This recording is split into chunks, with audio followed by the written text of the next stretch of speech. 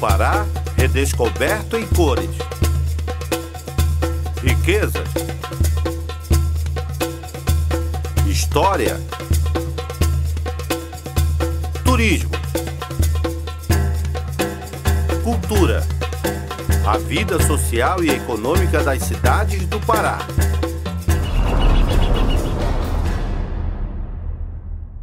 Olá, bom dia. No programa de hoje você vai conhecer um pouco do Nordeste paraense e a cidade é Bujaru.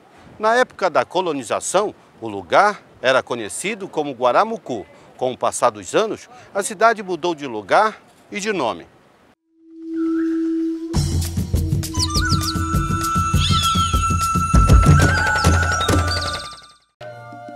Uma viagem inesquecível pela Amazônia suas cores, tradições e costumes. Um povo único e inigualável. Nossos expedicionários buscam o que o Pará tem de melhor: economia, empreendedorismo, cultura, gastronomia, turismo. Seja mais um expedicionário e embarque nessa viagem. Expedição Jornalística Amazônia Mais, todos os domingos, nove e meia da manhã, na TV RBA.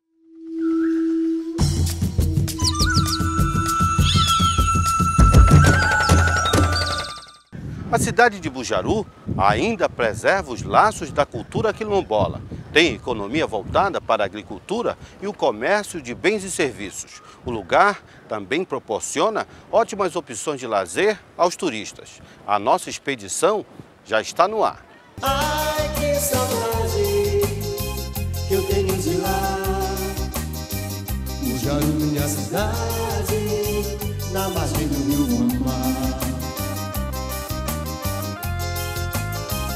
município de Bujaru está situado na região Guajarina, distante 70 quilômetros da capital.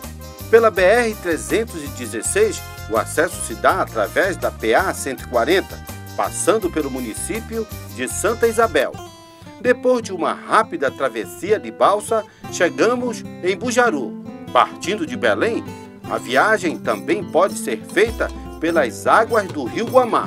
Bujaru evoluiu após o desmembramento do município de São Domingos do Capim, pelo disposto Decreto-Lei 4.505, assinado pelo então interventor federal, Tenente Coronel Joaquim Cardoso de Magalhães Barata. O ano era 1943 e a pacata vila de Santana de Bujaru passou a ser a primeira sede do município.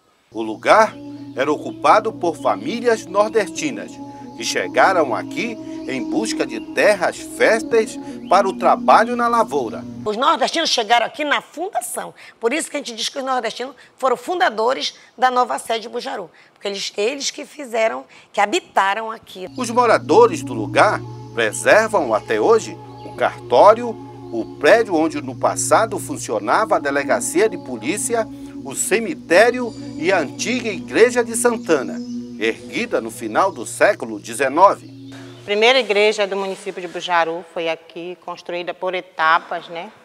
Pelos portugueses, dizem que até os escravos ajudaram aqui nessa construção. E hoje nós estamos, né, com essa restauração por conta própria, né? Festividade que nós fizemos é, para ajudar né, nesta reforma. Situado à margem esquerda do caudaloso rio Guamá, Bujaru conta com mais de 60 comunidades e dois distritos, o Sede e o de Guajaraçu.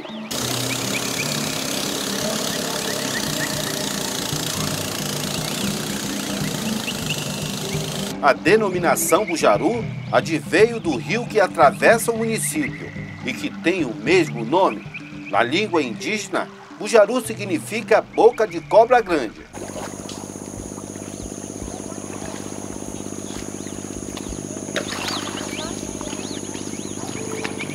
O rio Guamá banha a cidade e tem como afluentes os rios Bujaru, Igarapé-Açu e o Guajará-Açu. Além de serem ótimos atrativos naturais, todos são navegáveis e de muita serventia para os moradores da região. Para nós aqui é tudo, né? Porque sem, sem, sem a natureza, o que seria de nós? Acho que nada. É por meio de rios e furos que muitos benefícios chegam aos moradores ribeirinhos. Que Qual é? trabalho é esse que vocês estão fazendo aqui? É um trabalho ribeirinho aí esse pessoal aí, ó. Esse aí que são moradores aí, né, vocês? Bujaru tem uma população que se aproxima dos 30 mil habitantes, mas muitas famílias da região ainda vivem o drama da falta de energia elétrica. Nesta pequena propriedade, às margens do rio Guamá, registramos a chegada de material e equipamentos necessários para garantir a energia elétrica do lugar.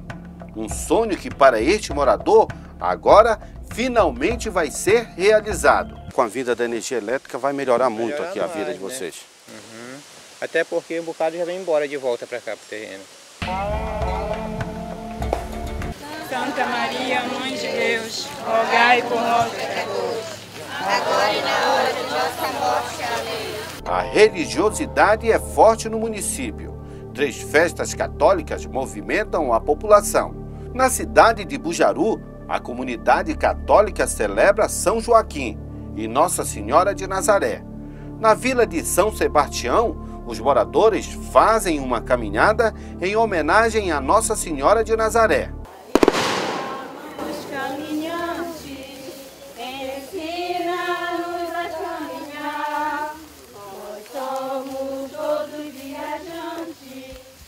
A nossa comunidade caminha ao lado da Mãe de Deus e temos essa devoção cada vez maior pela sua simplicidade, pela sua humildade, né, pelo seu sim ao projeto de Deus. Mesmo sem compreender, ela disse sim. Então é nisso que nós nos espelhamos para dar continuidade na nossa comunidade em meio às dificuldades que existem no nosso município e na nossa paróquia.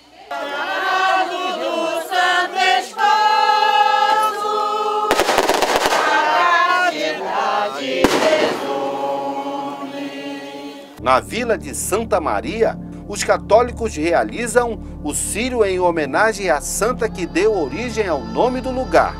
A Romaria parte de uma comunidade escolhida pela igreja. O Sírio representa para nós esse, esse grande, essa grande manifestação da fé, da fé em Jesus Cristo, né? trazida por Maria na nossa, na nossa vida, nas nossas famílias.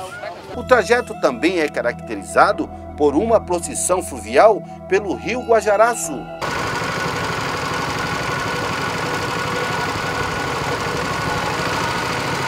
O cortejo dura menos de 10 minutos. Do porto da centenária vila, a romaria segue encaminhada até a igreja onde é realizada uma missa com a presença dos fiéis. Hoje aqui estamos reunidos para celebrar este encontro com Jesus e Maria na Eucaristia. O Senhor abriu os ouvidos. A nossa expedição por Bujaru está apenas começando. No próximo bloco você vai conhecer um pouco da economia municipal. Não saia daí.